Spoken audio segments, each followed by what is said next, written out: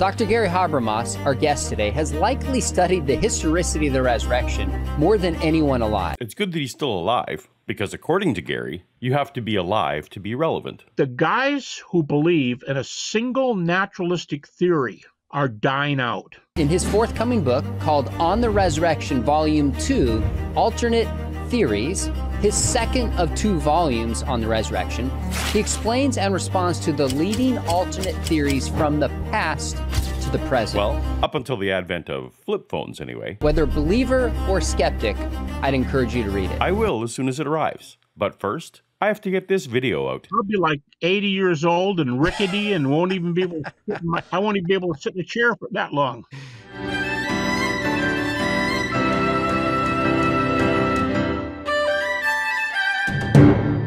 Welcome to Paulogia, where a former Christian takes a look at the claims of Christians. And today, that's once again the father of the minimal facts argument for the resurrection, Dr. Gary Habermas, talking with Dr. Sean McDowell about the imminent release of the second volume of his four volume magnum opus on the resurrection of Jesus. If you're a regular to the channel, you'll know I've been talking about Gary for years. Paul explains this. He's gonna he's gonna get it wrong. And you can catch up on all that in my Paulogia versus Dr. Gary Habermas playlist. My minimal witnesses hypothesis and project is in direct response to Gary's minimal facts approach. So naturally, I'm very excited to hear everything I can about Gary's new book. Well, let's just jump right in. In your first volume, which I'm going to show here, because the cover for this one looks similar. So this is the first volume, 1,100 pages, your positive case for the resurrection.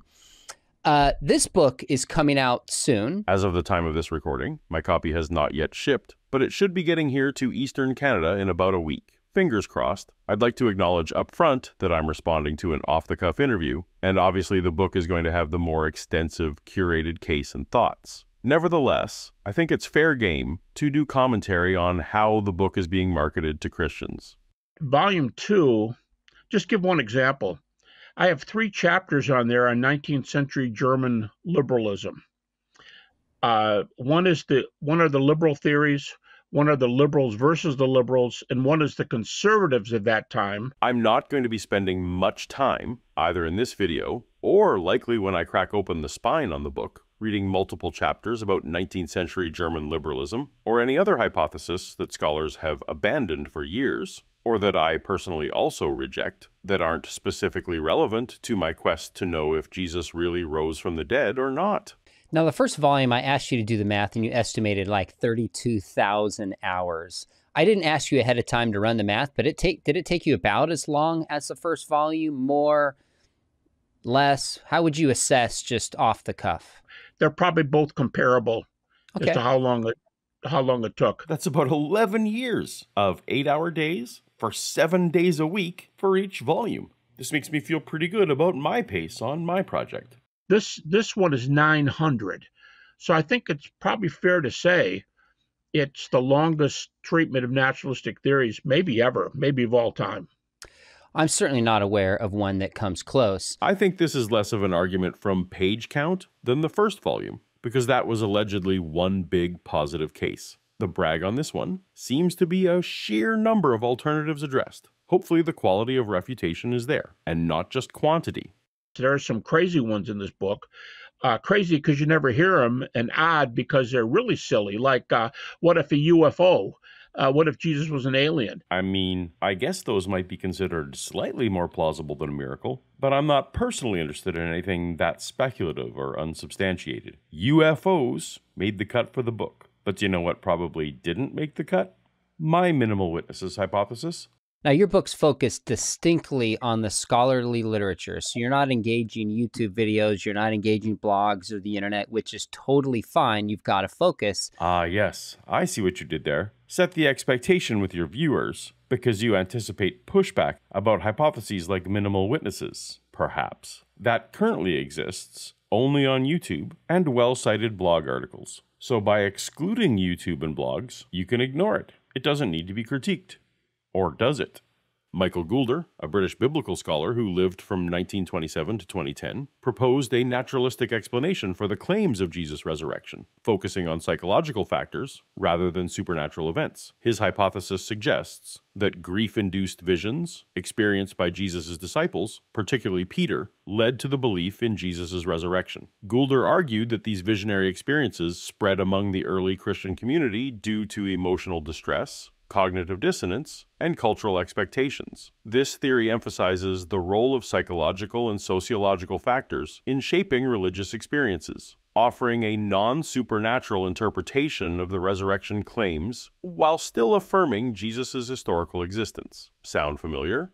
Gerd Ludemann, a German New Testament scholar who lived from 1946 to 2021, proposed a naturalistic hypothesis to explain the claims of Jesus' resurrection. Ludemann suggested that the resurrection appearances reported in the New Testament were the result of visionary experiences, particularly psychological phenomena such as grief induced hallucinations or altered states of consciousness experienced by Jesus' followers. According to Ludemann, these experiences were initially triggered by Peter, who was the first to have a vision of the risen Jesus. This vision, he argued, was a result of intense guilt and grief over Peter's denial of Jesus, leading to a psychological need to believe that Jesus had been vindicated by God. Peter's experience, in turn, influenced others, creating a chain reaction among the early disciples, who also began to have similar visionary experiences. Sound familiar?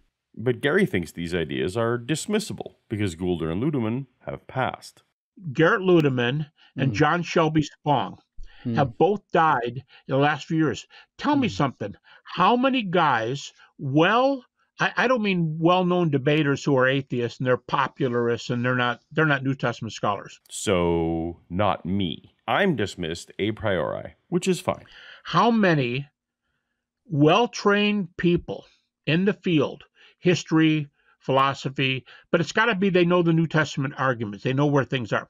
How many people today, how many can you name who believe in a specific one specific naturalistic theory? Hmm. How about Stephen H. Smith with a PhD in biblical studies? He's published several relevant papers over the decades, culminating in this upcoming paper, currently in open peer review. It's titled Exploring the Role of Bereavement Hallucinations in Early Christian Resurrection Beliefs. Here's just one quote among many I could have pulled. It is entirely possible that by means of this perfectly natural process, a bereavement hallucination experienced by Peter or another disciple was communicated to the others and developed into a fully fledged delusion. Had the hallucination been of Peter's mother in law, nothing unusual would have happened. It would have required a hallucination of the risen Jesus, who the disciples believed to be, or suspected of being, the Messiah in order to engender liftoff. Sound familiar?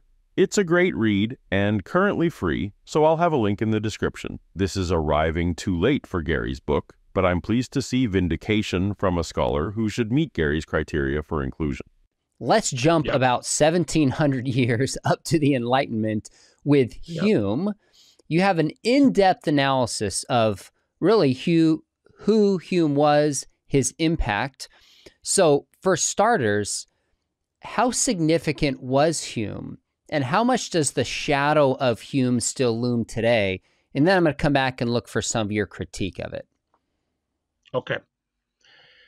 Hume wrote, well, he died right about right within days of the Americans signing the Declaration of Independence. So Hume, his life ends then. He writes his his Of Miracles, which is not a standalone book. It's not even a standalone. It's part of his inquiry. Part of this big influential book inquiry, section 10 is his famous essay on miracles, and it's not very long. Depends on what edition you read it in, but it's not very long. Hume was very influential, very influential, and he still is pretty influential today. But to spill the beans a little bit, today the philosophers mostly, they're philosophers who go after professional philosophers who investigate Hume. Many of the philosophers are not theists. Um, well, a couple of the key ones are not theists. And the tendency today is to think Hume got it all wrong. Hume blew it. Hume got it all wrong, Gary? All wrong? David Hume's influence on modern philosophy is profound and far reaching, spanning multiple areas, including epistemology, metaphysics, ethics, and philosophy of mind. His empiricism and skepticism have shaped contemporary thought, particularly his emphasis on experience as the primary source of knowledge and his challenges to rationalist views. Hume's work on causation, induction, personal identity, and moral philosophy continues to spark debate and inform current philosophical discussions. His arguments against religious dogma and miracles have contributed to the development of secular thought. While some of Hume's positions remain controversial, his ideas are widely taught and respected in philosophy departments worldwide. Modern philosophers generally regard Hume as a pivotal figure who marked the transition from rationalism to empiricism and scientific naturalism, cementing his place as one of the most significant thinkers in the Western philosophical tradition. This is the guy you say is all wrong on every topic on which he innovated and wrote? Or do you mean just on his short essay about miracles? Of course, theist scholars critique Hume's work on miracles. They have to. Christians like Richard Swinburne and Alvin Plantinga challenge his definition of miracles as violations of natural laws, arguing it's too rigid and fails to account for divine intervention within natural regularities. And I'm fine with that. I tend to be flexible on definition of miracle. Perhaps Gary is over salivating over John Earman, a secular philosopher of science, who in 2000 wrote a piece provocatively titled Hume's Abject Failure Earman contends that Hume's reasoning is fundamentally flawed and circular, as it presupposes the extreme improbability or impossibility of miracles from the outset. They tore into him and they said that's a circular definition. The work is not a defense of miracles themselves, but rather a critical examination of Hume's argumentative approach and methodology in addressing the topic. And guess what? I'm also fine with the circularity critique. I agree that to presuppose miracles don't happen means one can never conclude that a miracle occurred, even if one did. If the view goes that Hume was doing a circular definition followed by a circular argument, there are no resurrections because they don't occur. Okay, wonderful. Yeah, you really you really solved that problem. In the end, non-theistic philosophers generally continue to find Hume's core skepticism about miracles to be persuasive even if they agree with some of Earman's technical criticisms. They argue that the general thrust of Hume's argument, that we should require extraordinary evidence for extraordinary claims, remains valid. But my embrace of Hume's philosophy isn't on the definition or frequency of miracles. It's with Hume's take on the ability of testimony alone to ever establish a miracle. You have, yes. I don't know, a 15, 20 point critique. Give us maybe just two or three of the key critiques why you think Hume's rejection of miracles fails? Well, rather than you, you tell me if this helps, but instead of a one, two, three, here's problems, let me go back to when that first essay was written, um, 1751. Sure. And when he wrote it, in those days, pastors, evangelical pastors, were not exactly like evangelical pastors today. These guys were very frequently theologians with a heavy dose of philosophy in their training.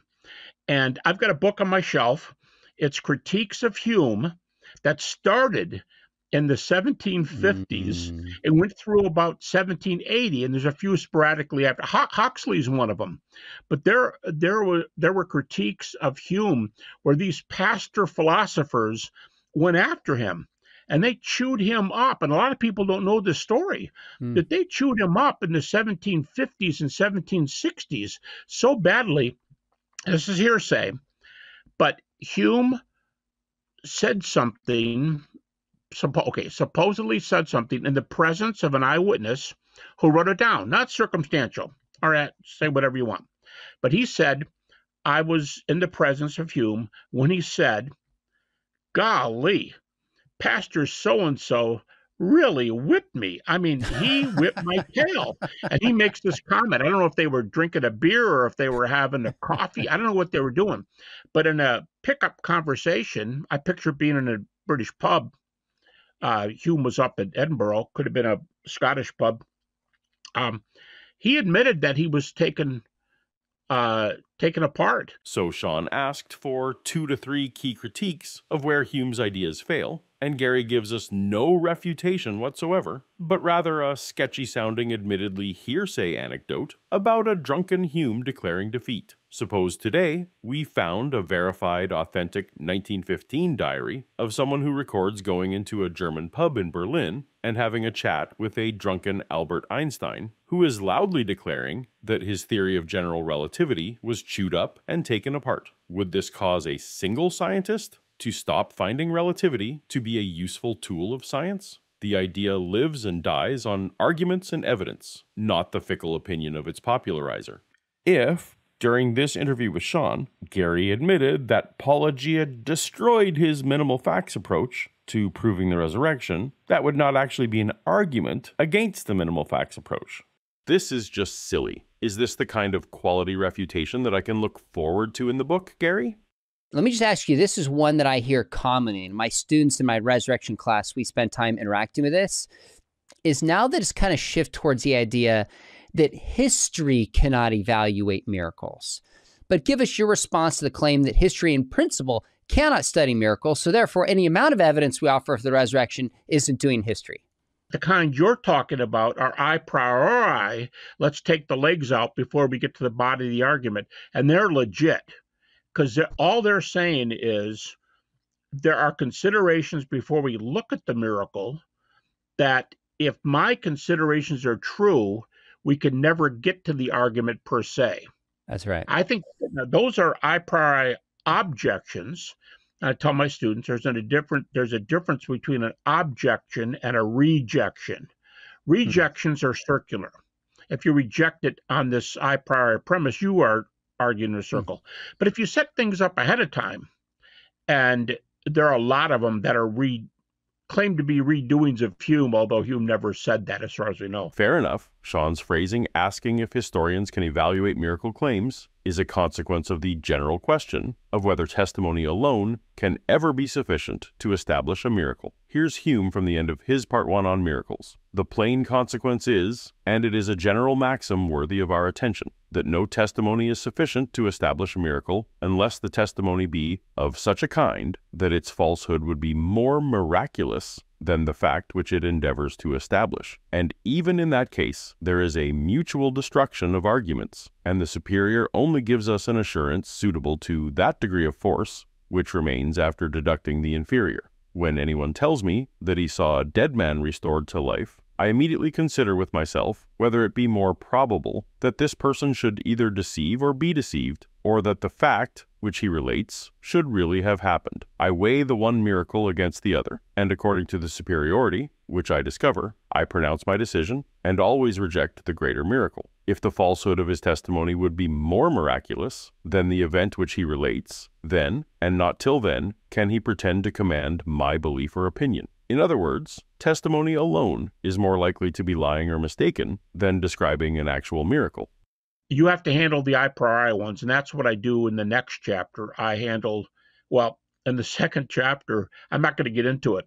Sure. in the second chapter, I handle 22 new takes on Hume, and I give almost 100 responses to those 22. All I'm saying is there are new takes and there are w- four times as many answers to the new takes. Promising that you have 100 responses in your book isn't particularly helpful here. No. But Sean is occasionally persistent. But one of the common sure. ones today is that history itself cannot consider the miraculous. Thus, history is not a tool that will even allow us to engage the resurrection. If this happened 2,000 years ago, you've cut the legs out on us.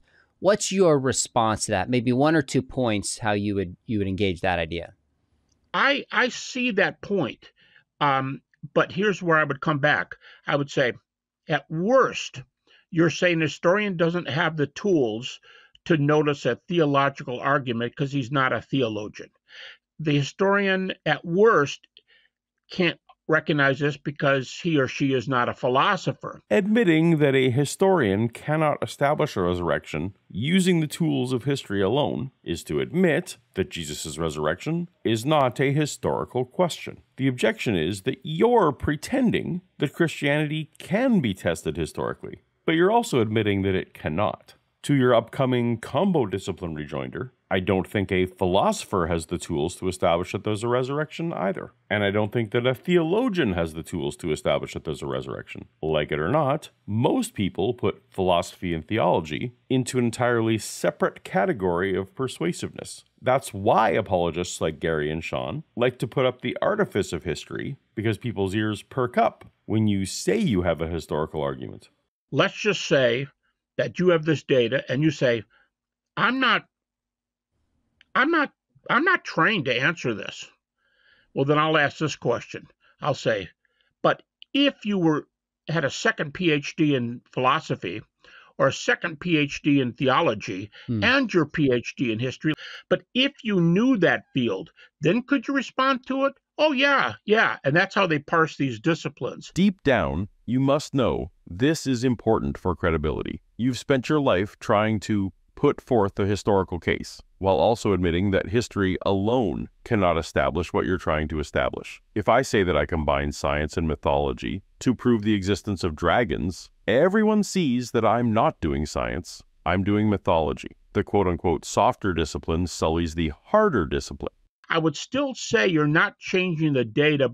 It's almost irrelevant whether a secular historian can answer the question. It's almost irrelevant whether a secular historian can answer the question whether Jesus rose from the dead. Let that sink in, everyone. Tacit admission that this effort is not about trying to convince a skeptic, but merely to retain the faithful. I, I, agree with you on that assessment. It's similar to the question intelligent design has to wrestle with is it science or not? Yes. Exactly, Sean. When someone like yourself or your guests admit that intelligent design isn't a scientific question, then most of the audience tunes out because theologians pointing to God with theological arguments is going to convince only a theist. Now, in the 19th century, the objections were less uh, kind of meta, as we might say, cutting out the legs. People were offering naturalistic hypotheses now, you point out in the book that these are much less popular today. But Indeed. So let's skip the objections I don't actually hold. But if you say the disciples stole the body, oh, are these the same guys who turned the world upside down, put their families on hold. Uh, mm. James and John, the fishermen, Peter, the fisherman, ta- uh, Matthew, the tax collector, they put their life on hold to go out and they were totally transformed. I completely disagree with including Matthew on this list, but I'm willing to concede that Peter, James, the brother of Jesus, and one of the Johns, probably son of Zebedee, were involved in the early church but we don't have enough information about what they were like prior to claim transformed, but that's a quibble. And you're the man that did this research, but totally transformed. And as far as we know, you've got a comment like this in your Fate of the Apostles book. As far as we know, none of them ever recanted. Which is meaningful only if we can establish that they had a chance to recant, or if recanting would have been any benefit. For the three Gary is talking about, John is said to have died of old age, so no recanting necessary. James, the brother of Jesus, was killed in a political coup, so no amount of recanting would have helped him. And Peter was killed as part of a political cover up where the emperor was blaming Christians for something he did. No amount of recanting would have helped because it wasn't ideologically motivated. It was for show. As Gary seems to be admitting, there's not enough evidence for any of the rest to even have this discussion or for the recanting point to be salient. And of we don't we don't know that all the apostles died, but they were willing to die, and and people say to me, well, how can you say that? Can you read Paul's mind? Can you read Peter's mind? Can you read? I say, and I'll say no, but I can read their feet. And you go, what do you mean? Well, look, if I go into a city and get beat up, seriously beat up to preach the gospel because I care about people. To be clear, Gary can mean only Peter, James, and John here because I've been spending a lot of time of late reading all the ancient sources surrounding the lives of the twelve, and other than Peter, James, and John, there's no solid evidence that a single one of James, son of Zebedee, Andrew, Philip, Thomas, Bartholomew, Matthew, James, son of Alphaeus, Simon the Zealot, or Judas, son of James, preached even a single sermon, handed out a single tract, gave announcements at a single Sunday school meeting, affirmed a resurrection appearance, or ever said the name Jesus a single time after his death, let alone were traveling around and putting themselves in harm's way. Peter, James and John probably really believed it. Any of the rest, it's a giant nothing burger. These guys, of the ones we are sure of, you give just a few, the two Jameses and Peter and Paul. Okay, the James, the son of Zebedee, died too young to be a to be a player in this discussion, but James, the brother of Jesus, Paul, and uh, Peter. Peter. You add John in there, who's there in Galatians chapter two, but you get those first three. Nobody's been influ- more influential in the church than those three: Peter, Paul, and James, the brother of Jesus. And we have first century sources for the martyrdom of Mhm. all three of them. I see you've quietly slipped Paul into the mix now. No matter. Paul was also killed under Nero, where recanting would do nothing to save him. And I'd affirm that Paul sincerely held his beliefs. Boy, Gary, it sure sounds like you're affirming the minimal witnesses hypothesis. But you haven't explained the appearances. That's great. And if you can't explain the appearances, you don't have a resurrection theory. You've got to deal with the appearances. Let's note for later that Gary can't say you have to deal with group appearances. He wants you to infer group appearances, but he can't say group appearances because they're not a minimal fact. Because you hear a story that's really cool, it, you're not going to say, I'm leaving my fishing business tomorrow and I'm going to go, I'm going to convert the world even if I die for it. It's not the beginning of it. Pannenberg's point is you can't start the story with that. The story starts with guys, and, and everybody's unanimous on this, and the critics. You have to start the story with these guys thought they saw something. I agree, but how many people are these guys? Just like a chain of falling dominoes starts with just one, it explains your evidence sufficiently to say that one guy thought he saw something. Also, notice that by saying they thought they saw something, Gary is affirming that being sincerely mistaken has the exact same end effect and impact as actually seeing something. Now let's shift to more modern objections that people might have. One of the big hypotheses, of course, Gerd Ludemann has talked about this and advanced this and debated William Lane Craig on this, is the hallucination hypothesis. Now, hallucinations, just really quickly, of course, you know this, there's nothing objective like a UFO or an alien or, you know, another, maybe Bigfoot, some have said. These are internal projections of the mind. Yet this one seems to have some feet in the scholarly world, as far as I can tell. What would be your critique of the hallucination hypothesis? Maybe give us one or two that you think just are potentially devastating to it. Okay, first of all, definitions. So many people will say things like, hallucinations happen. I know they do. Well, like what? Because, well, one time I saw this creature out in the woods and I thought it was the, you know, I thought it was Bigfoot. But there was something there. It turned out to be a bear. And I just Mm. misinterpreted it. Mm. But see, my other the two hunters with me, we all saw it. So you can see things and you can see them in a group. Time time out. You saw Bigfoot, you thought. And on closer inspection, which is a key, you found out it was a bear. Okay.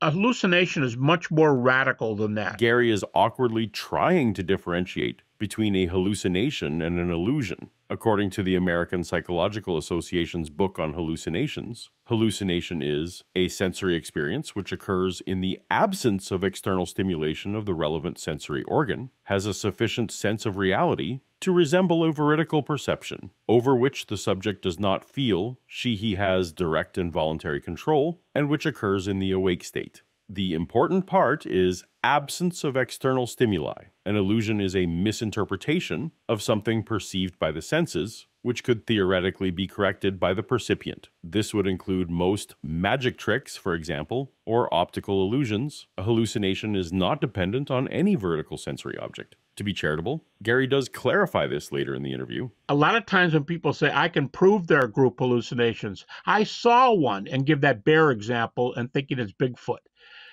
That is not an hallucination, it's an illusion. But we're not talking about an illusion hypothesis at this point in the conversation. An hallucination is when you you it's like you're looking at thin air. Here's an hallucination. I'm lecturing to my class and I turn and I say, "Honey, What are you doing here? And I begin talking to my wife, who Mm. died in 1995. And I say she's in the classroom with me, and I'm dead serious. And the students are looking around, and someone's calling the campus police and wondering what's going on.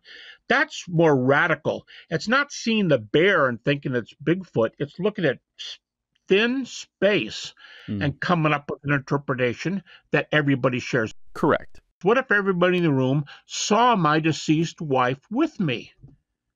Oh, that's different. That's way more complicated. It is more complicated. Do you have good evidence? Do you think this is in any way analogous? But I'll give people probably the maybe the toughest. I'll give the toughest obje- objection. Somehow I doubt that. Here's Antony Flew. Um, okay, my theory is Flew talking. My theory is the disciples saw hallucinations. And the Christian is all revved up and ready to go. And they've got five refutations that they were taught in church and already. And they go, You can't say that because of A, B, C, D. And Flew says, Hmm, what, what's your main critique? There are no such things as group hallucinations. And Flew comes back, my friend, there are no such thing as resurrections. Mm. Now, which one is more believable? That s- the people in class, as crazy it is, could have seen Hmm. my wife standing up in front? That's crazy. But a resurrection is more crazy. There's no example. There's no other example of somebody coming back in a resurrected body. Lazarus doesn't count. Elijah doesn't count. Eli- uh, uh, Jesus three. They, they don't count. And it's called the natural miracle objection. And he says, well, resurrections are impossible. Okay, so if I can trust your recollection of this conversation, see my video called Resurrection Skeptics Have a Double Standard, where we compare Gary's recollection of his live debate with Flew compared to the actual recording of the debate to see the legendary development in Gary's own anecdotes. Flew is saying that his argument wins the day, even if he grants group hallucination, and I tend to agree. But Flew's mistake is in granting group hallucinations in the first place, even if for the sake of discussion. We don't have good evidence for group hallucinations. We have stories of alleged group appearances, but we have no reliable testimony of group appearances themselves, not a single first hand report, let alone corroborating first hand reports. There are more group resurrection reports in the New Testament, easily more groups than individuals. Most of the hmm. appearance reports are group. That's an argument from numbers, which isn't how we determine truth. There are far more Gospels written in the second century than in the first century. Should I suddenly prefer those to the canonical four because of sheer numbers? No. We evaluate group appearances with the criteria we use for any historical claim authenticity, immediacy, authorship status, intentionality, bias, corroboration, adornments, and plausibility. And by these criteria, I don't accept group appearances, and nor do enough scholars for you to make group appearances one of your minimal facts. When you claim group appearances, you're arguing outside of facts. And I, and so I thought about this for a while, and I said, I didn't have to say it. I, this is what I would have said, but he never brought it up. Okay, so what follows is Gary's hypothetical debate about hallucinations that never actually happened outside of Gary's head. I said, Tony, consider something. The natural resurrection objection doesn't work here. Why not? Gary is imagining that Antony would say, why not? Why not? Because there were multiple group appearances. In 1 Corinthians 15, the earliest creed, the most respected text in the New Testament, you have three group appearances the 12, 500, and all the apostles. The creed also says that Jesus was raised on the third day. Guess what, Gary? Neither Antony Flew nor I think that Jesus was raised on the third day. If I doubt the start of the passage, why am I suddenly going to believe the end of the passage? Particularly when the end of the passage seems specifically constructed merely to lend validity to the start. Telling me that a creed said it is no different than telling me that the king's horses couldn't put Humpty Dumpty together again. We don't have a single first hand report from anyone saying they were part of the group who saw Jesus. Not a single one of the 12, not a single one of the 500. None. And this isn't just the skepticism of some random blogger and YouTuber you can conveniently ignore. If there was enough support from scholars to say that group appearances were a fact, then Gary would have made group appearances one of his facts. This is merely secondary conjecture, and no one should buy it. Convenient that Gary brings this up to Antony only in a hypothetical conversation after Antony is dead. I said, Tony, you can't do it like that. Here's your objection. You have to defend a not a group hallucination theory. You have to defend a group hallucination, group hallucination, group hallucination, mm. group hallucination, group hallucination theory. For those interested, I actually had a lengthy written debate on group appearances with Dr. Andrew Loke, which you can read on my blog or listen to on my live YouTube channel. They don't have it. Gary knows they don't have it or it would be one of his facts. Group appearances are no more an accepted fact than Jesus walking on water is an accepted fact. It's an entirely uncorroborated element in a story. And, by the way, none of the multiple group appearance accounts actually corroborate each other. It's like each one is post hoc trying to flesh out the vague skeleton outline of Gary's favorite creed just like legends about young Jesus in infancy gospels later sprung up to fill in details about Jesus' life. Defend group appearances as a fact, Gary, or you've got nothing at all here other than, for the Bible tells me so. Now, what's more likely? And he might say, I don't know, I still think a resurrection is less likely. What else is he going to say? He could say, as I have, demonstrate that there were group appearances. I'm saying, Tony, here's your problem. You're a naturalist you don't have God in your system. A lot of people, Alvin Plantinga, Richard Swinburne, there are a lot of smart people who think God's there with good reasons. If God is in your system, you lost everything. You have not. I could absolutely believe in a God who created the universe and who actively does miracles every day and still acknowledge that all we have for Jesus' resurrection is testimony and understand that testimony alone isn't enough to establish the miracle. There are billions of humans who believe in God while also doubting Jesus rose from the dead. It's not just stubborn naturalists. I think one of the biggest comebacks is one sighting, one isn't going to do it. Why? What prevents a single individual from being sincerely mistaken and then convincing others? Virtually every Christian in history became one without personally seeing resurrected Jesus, including all the converts in the book of Acts. What exactly is implausible about the converts before Acts coming to believe in exactly the same way. No one has ever provided a good answer to this, and I'm not optimistic that Gary's new book will do it either. Prove me wrong, Gary. That's just one of the comebacks. But I can I can argue other things. Refutations of hallucinations happen when something extraneous occurs. Let's go back to my wife. And the class thinks they see my wife in the room. What if people say, I don't know what's going on here, but um, can we ask her if she can do something? Like what? Um, take my book and throw it in the floor. And she takes mm. the hmm. book and throws it in the floor. And somebody's got their camera going, so they've got this on film. Wait, does someone have film of risen Jesus? If not, your analogy is no longer useful. So there's other backups, and you have that kind of backup in the historical text. There's what backups do you have? Do you think that one of the legends of Jesus features the character of Jesus eating breakfast means that you've provided something more substantive than mere hearsay testimony? You have not. And one of the things I want people watching to, to know that you do when you approach this is you take certain facts and say these yep. hypotheses have to explain the facts. So the stolen body theory at best could explain the empty tomb, but not the appearances. Yep. A reminder that the empty tomb is not one of Gary's facts. The hallucination yep. at best could explain the appearances, but not the but empty not, tomb. Again, neither group appearances nor the empty tomb are in the list of facts to be explained, so I don't know what this has to do with anything. Empty tomb, Paul, and James are three kind of stand up refutations that work with almost anything. Empty tomb is not a fact. Paul and James are latecomers who believed, no differently than Gary and Sean are latecomers who believed. Uh, I want to push this guy a little bit. What do you think happened with these facts? Well, I don't think I'm prepared to say that. I'm prepared. I have my whole minimal facts playlist you can watch today, and I'm slowly working on my own magnum opus. I don't think there's any empirical evidence for the truth of naturalism or materialism. I don't think you can prove it. So, wait a minute.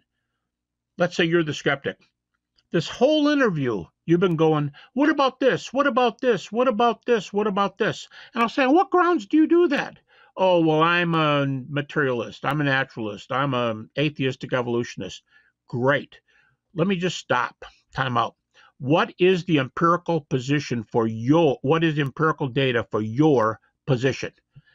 And you're going to refute data on my part and sit there smugly without position that is without data which establish your position. Ultimately, naturalism aligns with the principle of parsimony. It's an Occam's razor argument, which states that one should not multiply entities beyond necessity. Since naturalism requires only natural entities and processes to explain the universe that we agree exists, it's simpler and more parsimonious than worldviews that posit additional supernatural entities. Until such time as the supernatural is reliably demonstrated, methodological naturalism is the most reasonable default position. If naturalism is an assertion that everybody likes who wants to be free, who wants to have sexual freedom, wants to have political freedom, wants to have cheat in business, uh, get the government off their back, whatever. Gary, I was a fully committed Christian who wanted nothing more than to build up my faith. My search wasn't driven by a desire for sexual freedom or political freedom or any desire to sin. My search and my conclusion were driven entirely by intellectual honesty. This ascribing motive is not an argument. I'd say it's a feeble excuse to dismiss those who disagree with you, but that would be ascribing motive, which isn't helpful. I switch gears when I'm when I'm debating. So I'll stop and I'll go time out. Let's talk about NDEs. And I won't tell you who it who it is, but I was debating one time with probably the best known or close to the best known. There's a, two or three of them.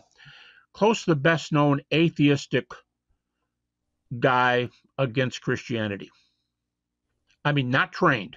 I mean, not not a New Testament scholar. Why are you playing coy? You're talking about Antony Flew again. You haven't done so many debates that we can't just look them up and see what you're talking about. Note that this is also the debate that Gary so badly misremembered in that previous video I mentioned. So let's see how Gary does at accurately representing it this time.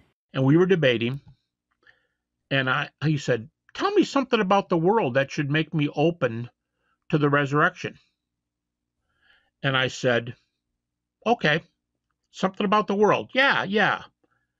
Near death experiences. Not a big deal, but absolutely not true. You were on the John Ankerberg show, and there was a commercial break, and then coming out of the commercial, it was host John who asked you this question, not Antony. What we want to talk about in this section is a question that comes up time and time again, and that is hey, my mom, my uh, sisters, my family members, my friends, uh, they might want to, Tony, believe in the resurrection, but doggone it, we don't see resurrections happening every day. Okay? All the funerals I've ever gone to, Dr. Habermas, I have yet to see any of those guys come back out of the grave. So my experience, all of my experience says dead men stay dead. And you want to take me from ground zero here of saying, you know, dead men stay dead, all the way up to a miracle, not just a little tiny miracle, but the resurrection of Jesus Christ from the dead, and I've got no experience, no background on that, baby. Now help me out. Well, uh, that's good. I mean, I think you've just explained well the, the issue that philosophers call antecedent probability. And I would guess that it's probably the, the single biggest issue on the miracles, not, not resurrection, but miracles issue. I, I think there's two ways a theist could go after this one is to say, your view of the world is wrong. It's not that we're here and the resurrection is Mount Everest. The, this world here needs to be adjusted. Now, this isn't a debate on, on some of these other things, but if this were an extended debate and I would say, well, well, what's our world look like? I would want to talk about data for God's existence. I would want to talk about near-death experiences. And because, see, if God exists, the playing field rises up quite a bit, or some would say like this. Hmm. If there's an afterlife, Jesus' resurrection is more likely. You know what the guy said to me? It's on tape. You know the guy said to me?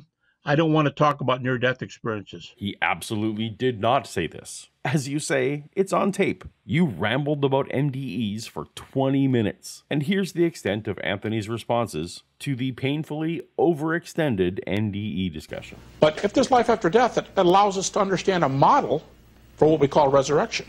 Tony? Um, this is supposed to show life after death, is Well, I think it, okay, not extenuated life, not heaven, hell, hours of death would be tough for a naturalist. Tony, does that open up the door in terms of the possibility of uh, more than naturalism?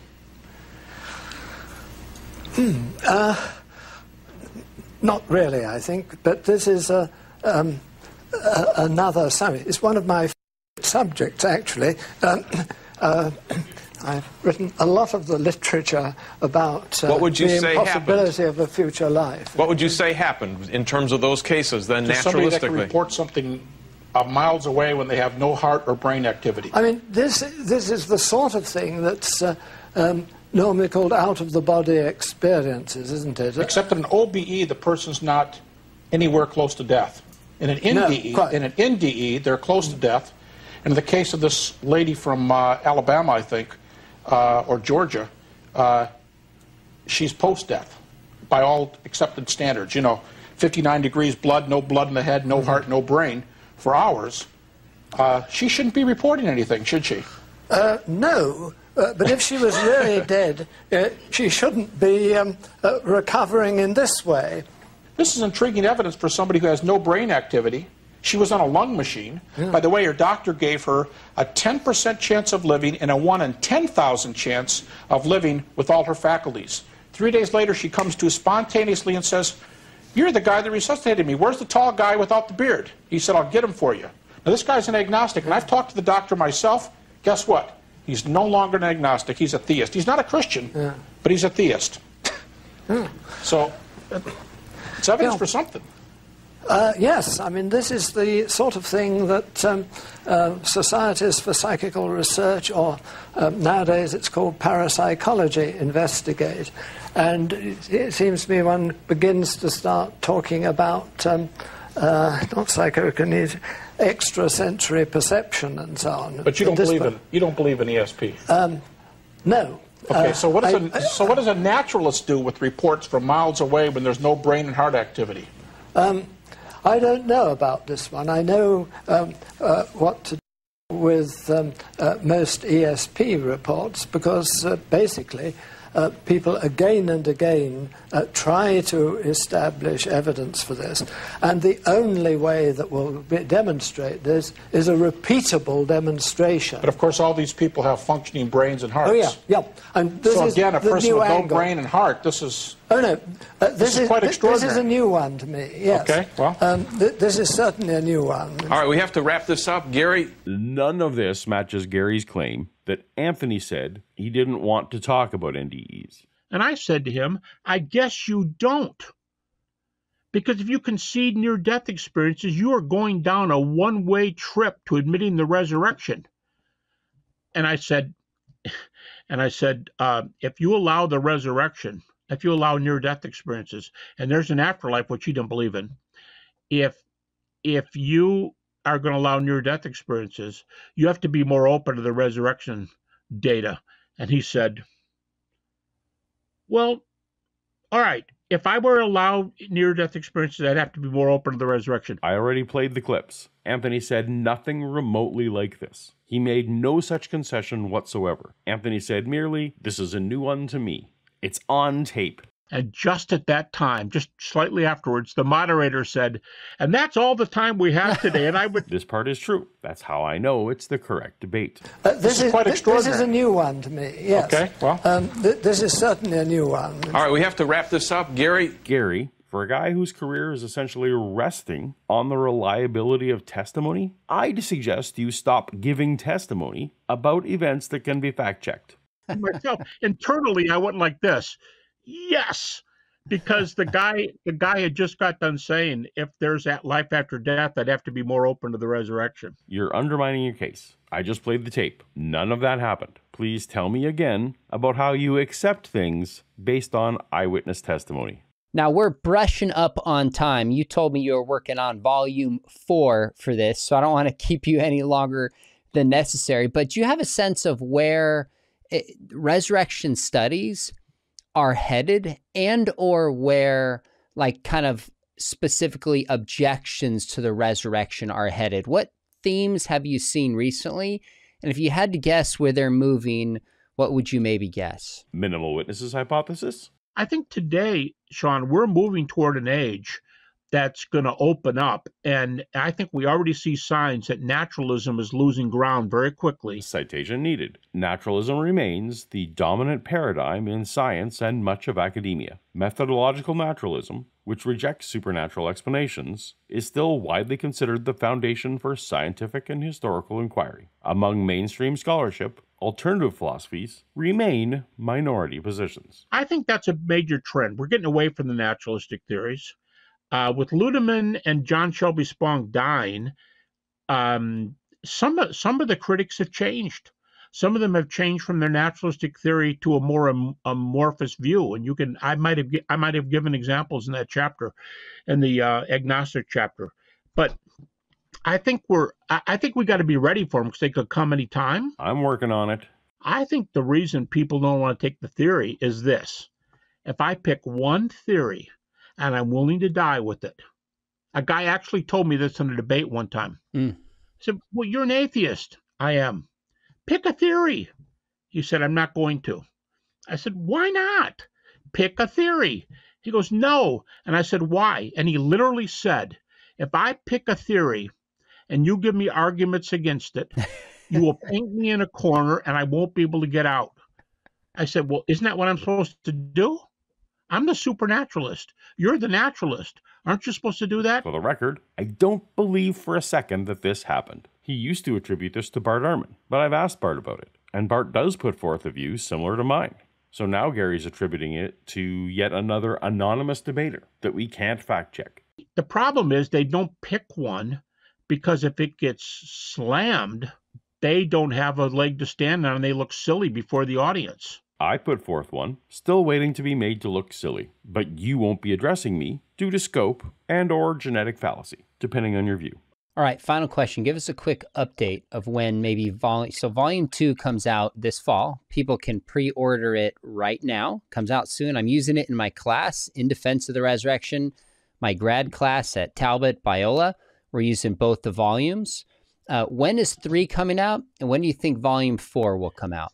Volume two, September 15th, and about exactly, what is that, one month ago yesterday. Volume two. Oh, and they tell me if the books aren't in the warehouse, they're going to be there very quickly. They're on target for a September 15th release. Volume three is due out May 15th, 2025. Okay. Volume three. That's fast. Volume four that I'm doing now, I, my due date's November 1st, 2024. They're saying volume four will hopefully be out on November 1st, 2025, one year later. Wow, that's fast. That is like 15 months. This whole thing will be out and done. Isn't that amazing? I doubt I'll be done that quickly, particularly because Gary's giant books keep coming out and I need to go through them. Did you say you required volumes one and two for your class? Oh, wait a minute. They can't get volume two. So what do they do? Well, they'll get volume two in September, and then we'll just assign it through the rest of the semester. So it better come But out, are or I'm in trouble. All right. So you you're gonna I mean money wise, you're gonna require volumes one and two for students to buy for class? I had the same reaction. In Canada, these books are around $100 each volume. So Boy, that's amazing. I, I've never heard I haven't heard any somebody asked me last night, does, has anybody required this for one of their classes? And I said, I'm pretty sure Sean told me he's requiring volume one. I now I can say that was months ago. I'd say now, yeah, Sean's gonna require volume one and volume two. Was it someone who asked you last night? Or was it somebody who asked you months ago? Which is it? I want to be charitable for what happens in a live conversation because I'm not great at it myself. But come on, how am I supposed to believe Gary's quippy anecdotes at this point? As I said, Gary's credibility has nothing to do with the viability of his arguments. But every interview he's demonstrating the unreliability of testimony, which is the thing upon which his entire resurrection case rests. I'm doing You're volume doing a two. real service here, man. Now I'm also require Fate of the Apostles, but I have a 10 year update coming out in in spring. Are you kidding me? I just finished over a month of work looking up every resource in that book and recreating the work from scratch for myself. And now there's an update coming? Ugh. And I won't answer this right now. You and I can talk later, but five of the apostles I've just slightly reassessed in terms of the past decade of studying this and getting support and critique. And I think we've really landed on where the historical evidence points. I think the argument's stronger than ever, but I think we need to nuance a few things. That's a conversation down the road. You and I can have that one. But for Right. now, Are you Uh, are you are you nuancing it? Are you nuancing it up or down? Is I'm the gonna case looking better? I'm going to hold off on answering All that question yet. I mean, Sean already tipped his hand on this in an interview. And there's a few things I've changed my mind. Number one, I probably would assess James, the son of Zebedee, one notch down. And that's mm. because we have one good source for James in the book of Acts. But I probably put that a little higher than it should be given one source. That's one I would revisit. And I fully agree. When Acts is a person's only source, one should lower confidence. I think one I slightly notch down, and two of them I completely shift. Now, with that said, I think uh, the four that you mentioned still died as martyrs. I don't shift there, and uh, I'm gonna I'm gonna leave it at that until releases stuff as it gets closer. But the core of the If- argument keep- is there. if So you're keep the if you're going to keep the top four see even if you abandon ship and say i got to drop one of those i you could everybody can say there are first century sources for the deaths of the two james uh, peter and paul first century accounts of their death within the first century Mm. that's pretty darn early for ancient texts Yes, well, we talked about it already in this video, but the martyrdoms of Peter, James, the brother of Jesus, and Paul are baked into the minimal witnesses already. If John is the other member of the top four, then he wasn't martyred, and that's also baked in. Well, maybe what we'll do when this comes out, I'll send it to you and you can like flip the script here and interview me, cross examine me like I did, and we'll have that conversation. It would be fun. Can't wait, but more reading in my future. And I'm still waiting for Gary's volume two to hit my doorstep. We will have you back correct. if you're willing to come to talk about three, talk about four, and then maybe when it's all said and done, we'll just do a long Q and A where people can bring their toughest objections from your entire volume, and we'll go live and we'll address those together. That would be fun. Somehow I doubt that you'll let the public bring their toughest objections, but that would be fun. For more fun from a former Christian taking a look at the claims of Christians, tap on the video on screen now, and I'll see you over there. Until next time, later.